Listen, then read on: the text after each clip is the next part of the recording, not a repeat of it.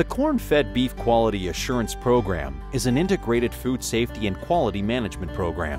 It consists of three components, registration and audit of farms, cattle identification and record keeping, as well as good production practices.